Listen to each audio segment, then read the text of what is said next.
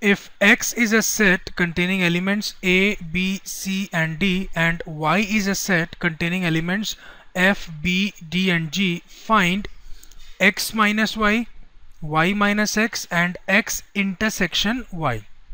Let us try to solve each section one by one.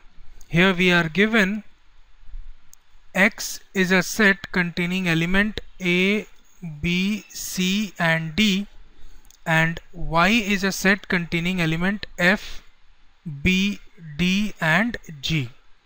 And in our first section we need to find X minus Y. Well we know that X minus Y means set of all the elements that are present in X but not in Y. So here we have the elements that are there in X but not in Y are A and C. So we have a set containing elements A and C. Next we need to find Y minus X. Again this means set of all the elements that are there in Y but not in X. So the elements that are there in Y but not in X are F and G.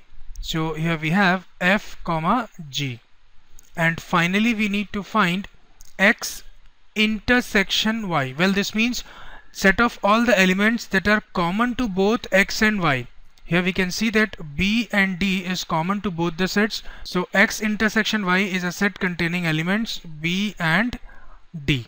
So this completes our solution